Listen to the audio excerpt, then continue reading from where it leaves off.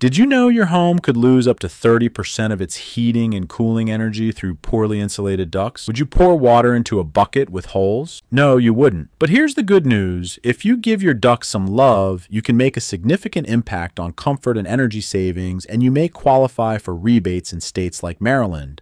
Let me show you how it works. A U.S. Department of Energy study states that poorly insulated ducts can waste energy.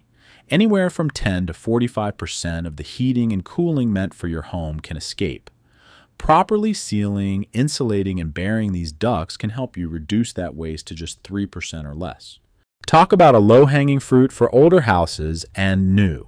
This improvement is available to millions of homeowners. You just have to be brave enough to get in your attic or pay someone else to do it.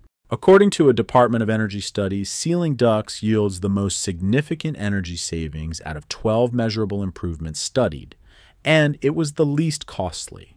HVAC ducts are mechanically fastened. That means they have lots of places air can escape, especially in older systems that haven't had human contact in decades.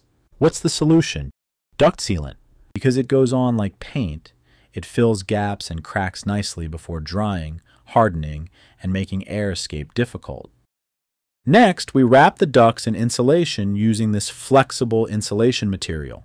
It takes the right skill to apply the material correctly, maintain balance, and get to all the challenging places. Once everything is all buttoned up, we bury the ducts in more insulation. In some cases where the ducts are entirely located in the attic or crawl space, we can perform a duct pressure test to measure the leakage. After sealing and insulating, you not only save energy, but may also qualify for rebates like Maryland's 500 to 750 program for improving system efficiency. Let me take you through this recent project I completed in Rockville, Maryland. During the initial energy assessment, a substantial air leak in the HVAC system was discovered in the attic. The homeowners were concerned. They had an unusually high bill, and comfort just was not quite there for them. This project succeeded with a 20% reduction in overall leakage. Other issues surfaced while improving the ducts, which gave me additional insights I would like to share with you. I found two substantial connections that were not properly fastened. One was a return, not pictured, and the other was a supply connected to a junction box. These boxes are typically made of sheet metal, fiberglass, or plastic, and act as the central hub where a single large duct distributes air into several smaller branch ducts. While they're cost effective and compact, they do have some drawbacks. For instance, poorly sealed connections or improperly sized ducts can cause uneven air distribution and increased energy losses. According to the U.S. Department of Energy, sealing and insulating ducts in unconditioned spaces can improve HVAC efficiency by up to 20%.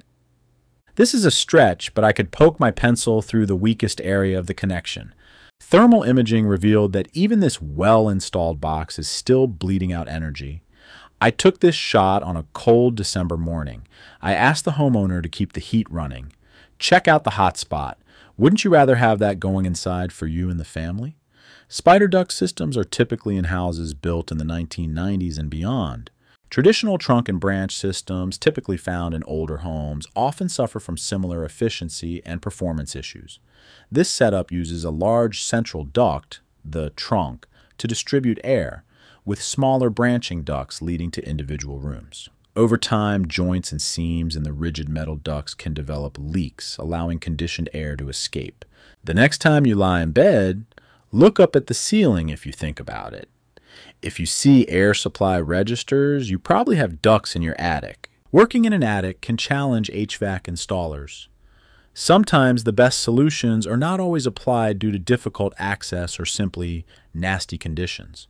One of the reasons ducts and attics are problematic is static pressure, which is like air traffic in your duct system. If there's too much resistance, it's like a traffic jam. Your blower has to work harder to push air through, which can wear it out and reduce airflow to your rooms. According to the American Society of Heating, Refrigerating, and Air Conditioning Engineers, properly balanced duct systems are crucial for comfort and efficiency. If this is something that interests you, it's really cool stuff. I want you to subscribe. I want you to check out my channel. Thanks for watching.